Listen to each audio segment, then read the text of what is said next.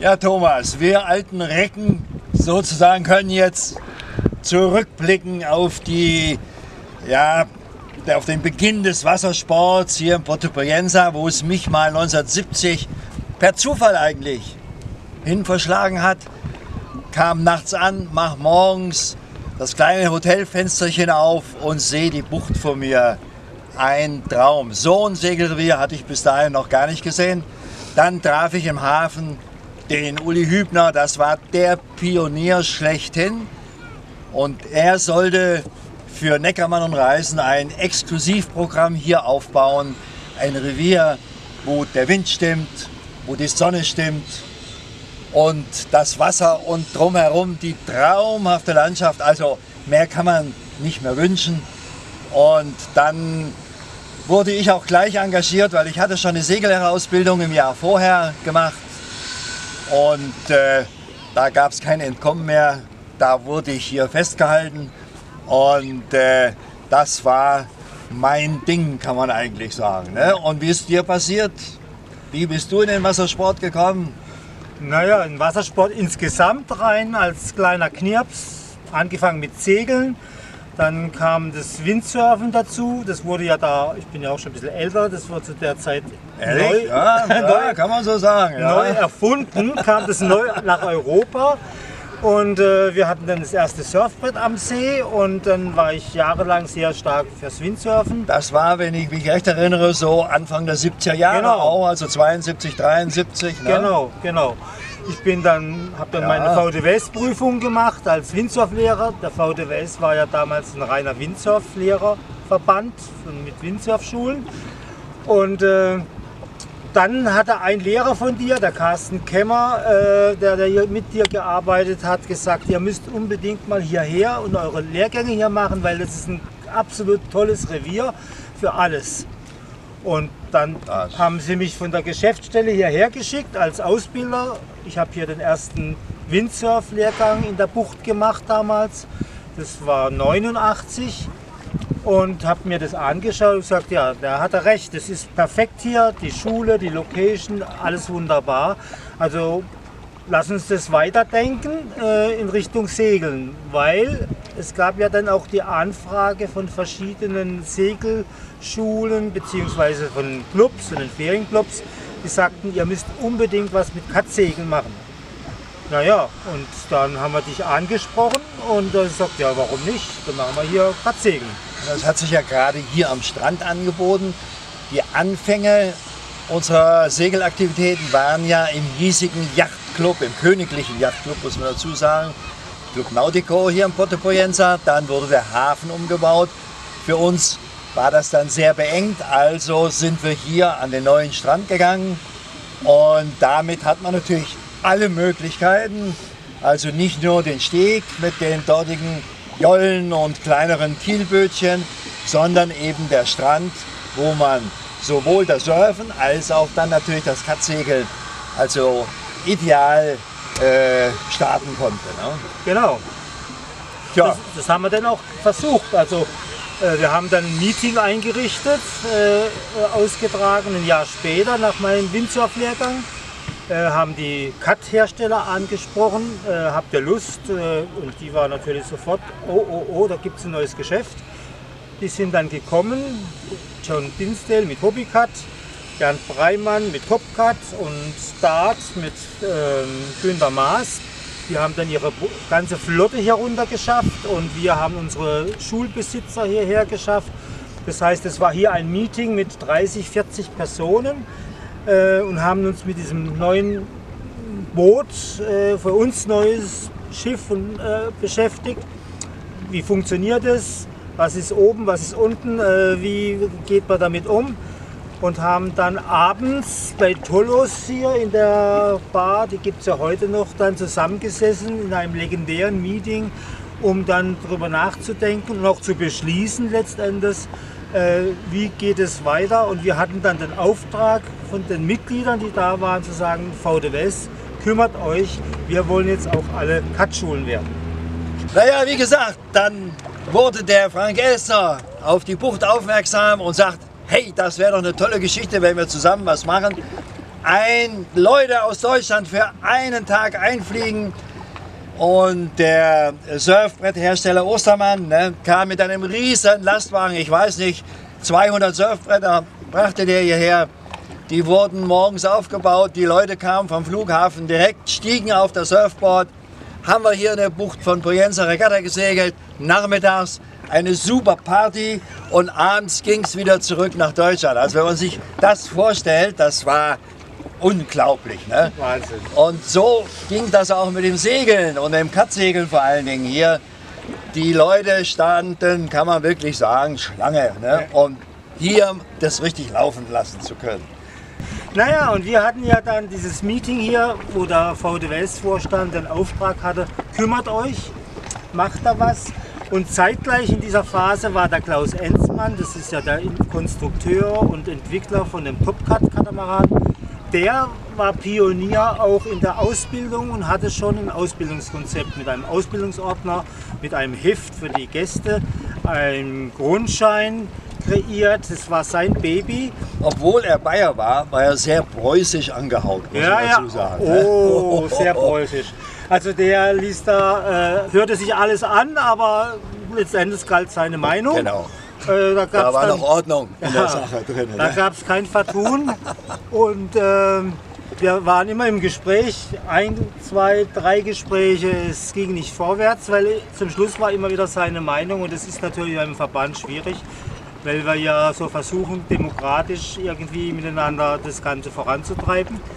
Letztendlich haben uns die Vorstandskollegen gesagt äh, zu mir und äh, ein, zwei Kollegen, wir wissen, dass der Enzmann jetzt gerade auf den Malediven ist, fliegt dahin, das war im Dezember, fliegt dahin und versucht mit ihm einen Deal zu machen.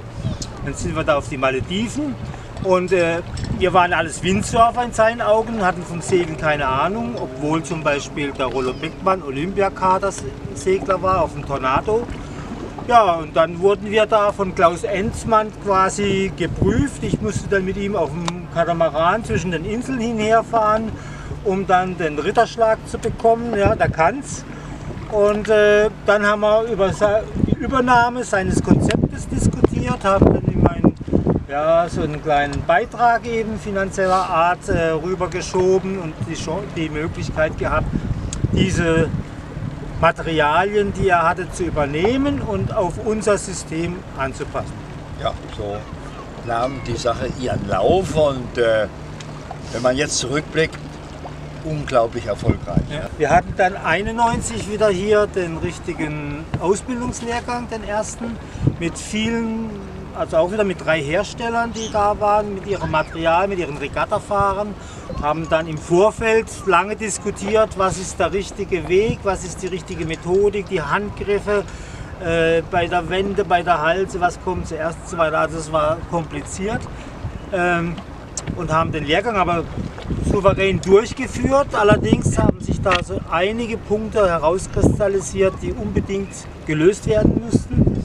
Das eine war, dass wir zur Prüfung eben einen Prüfungsparcours gelegt haben, der die halbe Bucht einnahm und an jedem Punkt war ja ein Prüfer. Das heißt, wir hatten sechs Prüfer da im Einsatz und das war ja für die Zukunft nicht, nicht machbar. Äh, für die normalen Lehrgänge mussten wir also was anderes finden. Und ich bin dann am Ende des Lehrgangs im Bistro gesessen, abends Also im Clubhaus. im Clubhaus und habe dann überlegt und überlegt und dann fing das an zu rattern. Dann habe ich mir einen Bierdeckel geben lassen und habe dann einen Parcours aufgemalt und dann hat es nicht gepasst, einen zweiten Bierdeckel. Das ist dann der Bier. äh, Parcours. Parcours ne? So ist ja in die Geschichte eingegangen. Genau. Genau. Äh, und der Kern war, dass wir draußen vier Bojen gelegt haben, in der Mitte ein Motorboot. Da konnte dann der Prüfer drin sitzen und dann mussten die in diesem Parcours alles abfahren. Und äh, der Parcours hielt, dieser Bierparcours hielt bis 30 Jahre lang. Ja, Also siehste. hat gepasst. hat gepasst. Super. ne? So, und das nächste Problem war, weil die ja dann gesagt haben, naja, das waren ja alles Windsurfer, Windsurfschulen. Ein Windsurfkurs, eine Schule, da ist ein Lehrer, fünf, sechs Leute auf dem Wasser, Kunden, Surfbretter, ist alles günstig und so weiter.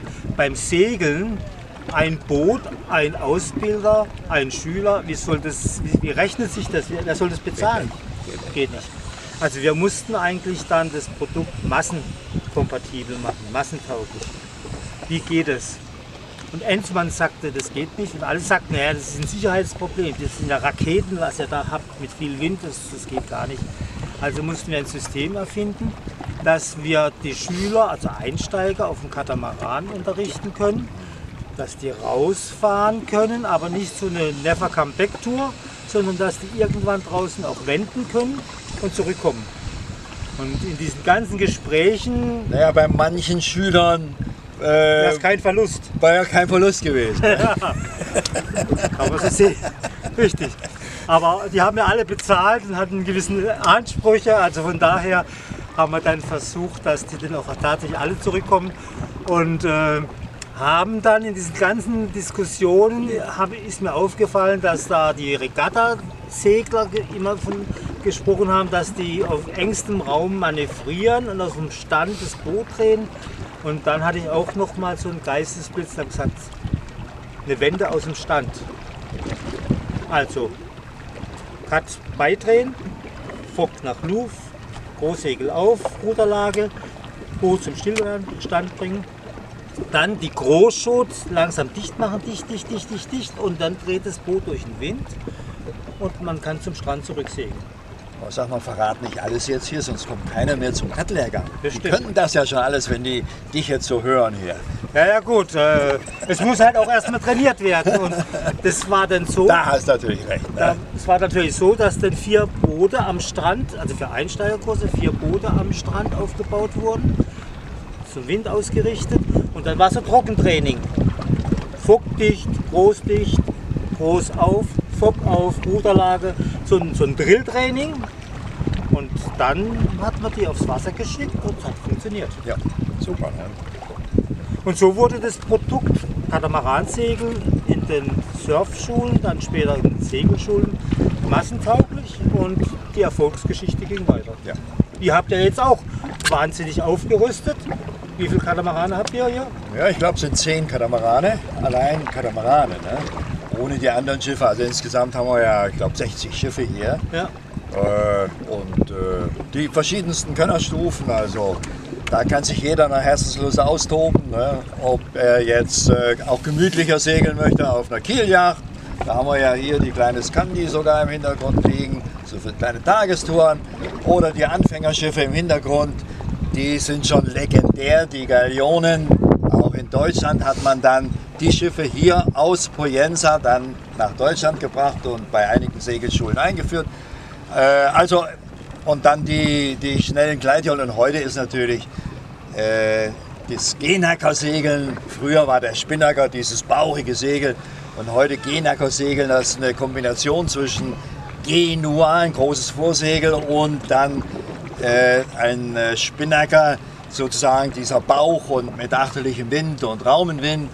Da geht dann die Post richtig ab. Also da hat sich eine Menge getan so an Entwicklung. Ne? Im Segel wie auch im Surfsport. Und wenn man heute das Fäulen so anguckt, was da abgeht, ist natürlich sensationell. Ne? Aber es gab natürlich an dieser Entwicklung, wir hatten ja jahrelang, oder eigentlich jedes Jahr hier unsere Lehrgänge mit 20, 25 Lehrgangsteilnehmer und es lief nicht immer glatt ab. Also ich kann mich an ein Jahr im Frühjahr erinnern, im März, da hattest du ganz neue Boote hier, Katamarane von der Hobbywerft Ja, bekommen. die wurden ja alle zwei Jahre ausgetauscht. Genau. Ne? Und da lagen zehn neue Schiffe am Strand. Wir hatten unseren Lehrgang, haben Mittagspause gehabt, saßen bei Tolos, haben was gegessen, getrunken. Und dann kam hier über den Berg rüber eine Sturmwalze. Urplötzlich. Zuerst flogen die Stühle und Tische von Poyenza an uns vorbei. Wow. Dann die Kisten hier in der, erst in die Luft, auf der Luftseite, erst in der Luft und dann eben nach Lee auch an uns vorbei. Und dann haben sich die Katamarane auf den Weg gemacht äh, Richtung Alcudia, sind die geflogen. Und äh, ja, ein Teilnehmer hat noch versucht zu retten, aber das war natürlich irrsinnig. Und ich hatte dann abends die Aufgabe, dich anzurufen. Du warst in Deutschland und habe gesagt, du Gottfried, wir haben eine gute, eine schlechte Nachricht. Die gute ist, Wenn wir man so leben, anfängt, ist immer gefährlich. Ne? wir leben noch alle, aber vier Masten sind kaputt. Tja. Und deine Antwort war, oh, das ist aber schade. Naja, von der Sache im Laufe der 50 Jahre, auf die ich jetzt hier in Poyenza zurückblicken kann, muss ich sagen, gab es einige Stories, die man erzählen könnte. Passiert halt im Wassersport. Muss man aufpassen, Wetter gut beurteilen, aber manchmal kommt es schneller, als man denkt. Ja, ja. Wobei man sagen muss, dass speziell diese Bucht natürlich äh, so ideal ist, auch gerade für die Einsteiger, weil der innere Teil ist unheimlich gut geschützt. Selbst bei stärkstem Wind, normalerweise gibt natürlich schon mal Extreme, aber normalerweise kündigt sich das an, vor allen Dingen in der Zwischenzeit, wo man die Bucht kennt, weiß man das entsprechend zu interpretieren.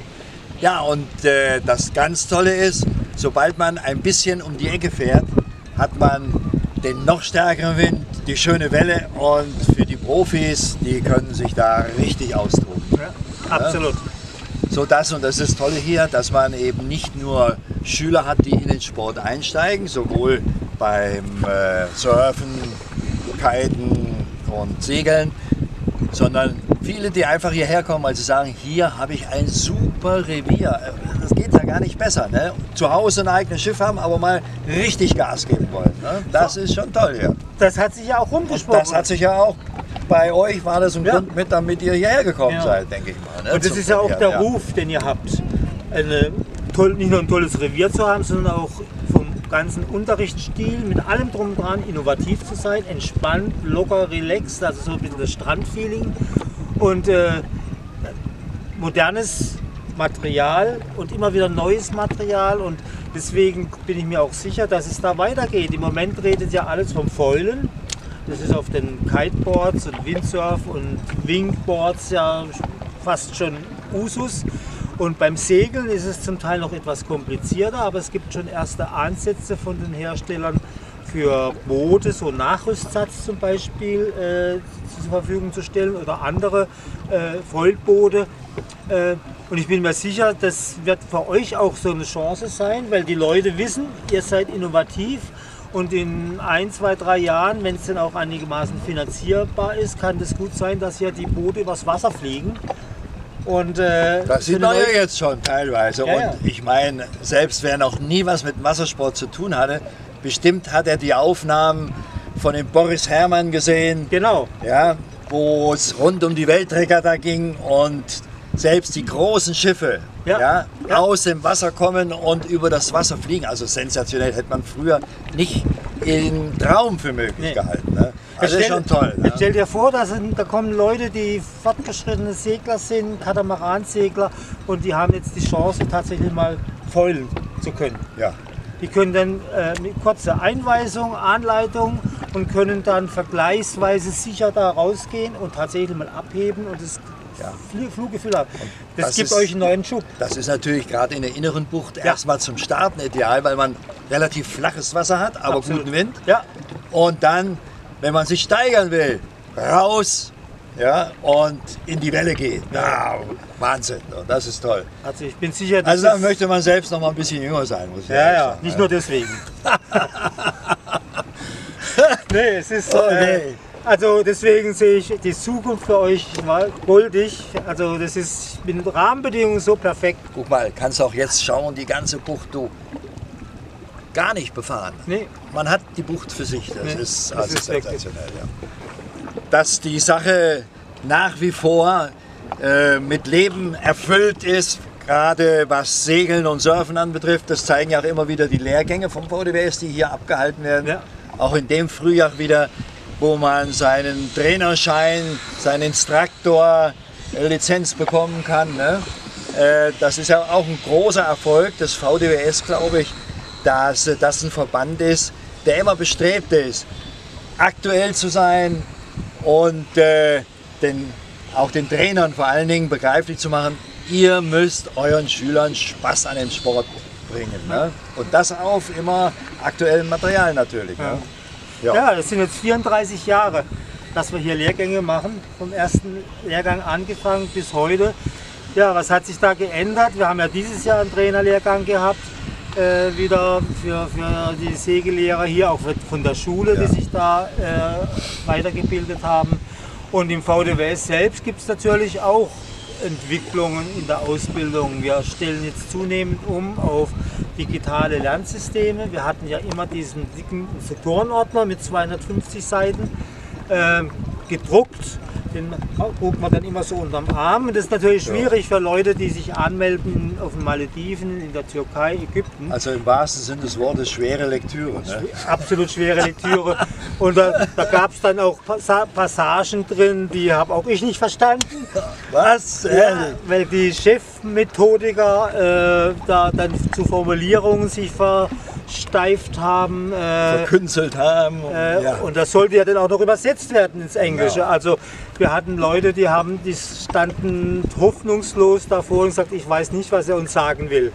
Ähm, gut, aber wir haben es dann weiterentwickelt, erst in, von, vom Print zum PDF und dann im nächsten Step sind wir jetzt seit drei Jahren dabei, Lernprogramme zu haben, Plattformen mit Videos, mit Fragebögen, wo die, wo die informiert werden, aber gleichzeitig auch so im Vorfeld vom Lehrgang sich vorbereiten können und nachher genau sehen, aha, das, das habe ich richtig beantwortet, das habe ich falsch beantwortet, da muss ich nochmal arbeiten. Also für den, der äh, im Wassersport sich ein bisschen weiterentwickeln will und auch Lust hat, und das ist ja, du, was gibt es Schöneres, als im Wassersport aktiv zu sein und das auch anderen beibringen, dass es auch für denjenigen eben erlernbar, einfacher erlernbar ist. Äh. Genau. Und hinzu kommt natürlich die Herausforderung für den Verband und das finde ich toll, was da der Verband geschaffen hat, dass er nicht nur auf deutschsprachigem Gebiet aktiv ist, sondern in England, in Spanien, in Italien natürlich auch ganz stark und natürlich auch Übersee, ja, wo es viele Stationen, VDWS-Stationen gibt. Das ist schon eine tolle Geschichte, die er da aufgebaut hat. Also wir haben momentan 540 Schulen in 33 oh, Ländern. Schauen, ja. ja. 4.500 Mitglieder, also von Malediven bis rüber Karibik äh, sind wir überall vertreten. Äh, und das alles auf freiwilliger Basis. Es zwingt niemand, das System äh, anzunehmen. Also von daher zeigt es ja, und wir sind ja auch mitgegangen mit der Entwicklung, angefangen mit Windsurfen, dann Katsegeln, dann Jollensegeln, dann kam das Kitesurfen, dann kam das Stand-Up-Paddeln, jetzt vor drei Jahren das Wingsurfen und Wingfallen dazu all diese Dinge, die äh, dann von den Mitgliedern gewünscht werden. Also es entscheidet letztendlich nicht der Vorstand, sondern sind die, die Umsetzung der Wünsche der Mitgliedschaft. Das machen wir dann auch.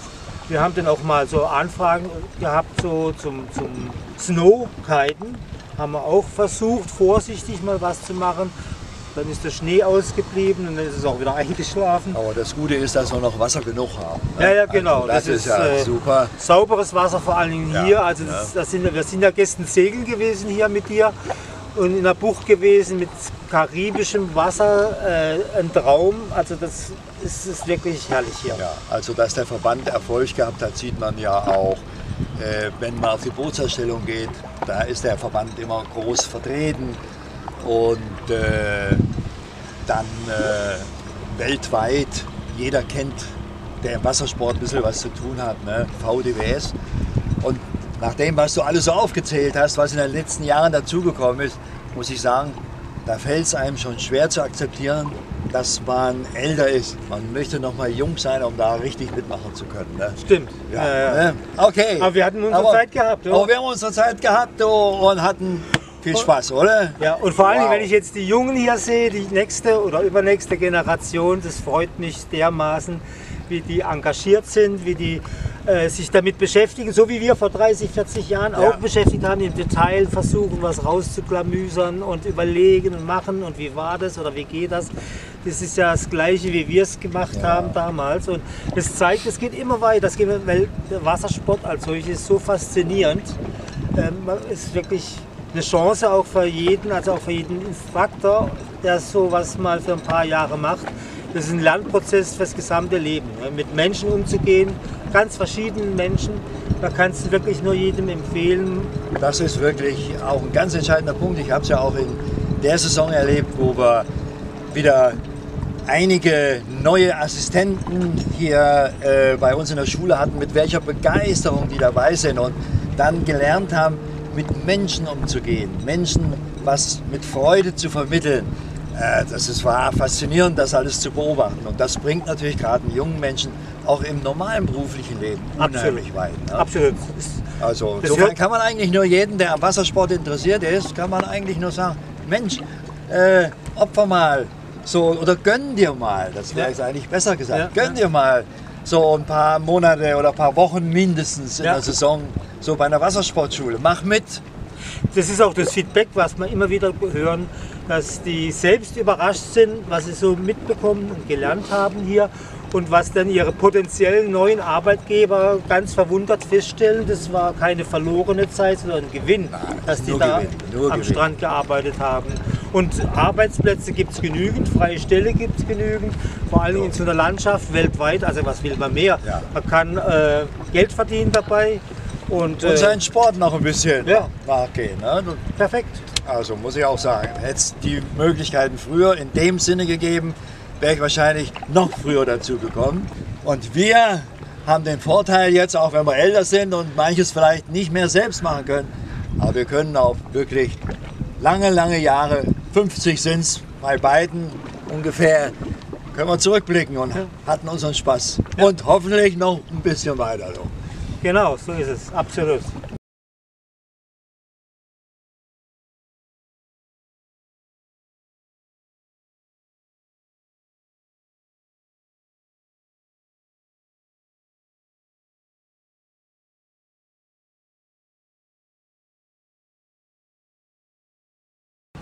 Du hast von Galeonen gesprochen, heißen die nicht Galeeren? Ja, manche meinen, du, eigentlich erinnert mich das an die Piratenfilme mit den Galeeren. Ne? Es fehlen nur die Eisenkugeln da an den Beinen, weißt du? Okay, ja, dann habe ich da was verwechselt. Ja, Ja. ja. ja. Und Ostermann, das müssen wir jetzt ausmachen. ne? Scheiße. Ein zweites Kapitel folgt gleich. Bei der Vorstandssitzung war das auch schon. Da hatte dann eine riesige Getränkeabarbeitungsliste an die Kollegen. Keine Vorstandssitzung und da sein Handy mindestens einmal. Ich lache mich schlapp. Okay, jetzt Und ich habe dazugelernt, Kamera läuft noch. Gut, Eva. Bombe. Mega. Und nochmal. Wir hatten dann den ersten Lehrgang hier, eine, also Ausbildungslehrgang. Auch wieder riesen Gedöns am Strand. Ab und zu mal in die Kamera gucken. Ab Lehrgang nochmal. Toll. Toll. Wollt ihr noch einen äh, Take machen zu VDWS und Sail and Surf heute? Was jetzt so in den die allerletzten Sachen waren, zum Beispiel, dass wir im März ja noch den Trainerlehrgang bei euch hatten. Ähm, also so irgendwie die letzten. Das war beim letzten Jahr. Ne? Nee, dieses Jahr. Ne, dieses Jahr habe ich Trainerschein gemacht. Echt, ja? Ja. Auch auf dem Wo war Cut. ich denn da? bei 35 Knoten ich und äh, viel gekennter. Also wir haben alle unseren Schein bekommen, aber viel geschwommen sind wir. Ja, habe ich, Ja. hab ich echt nicht mitgekriegt. da könntet ihr noch einmal. noch? Genau, Das hätte man noch dazu sagen müssen. das wäre Aber gut schon gewesen. politisch. So, jetzt bist du dran. Auf geht's.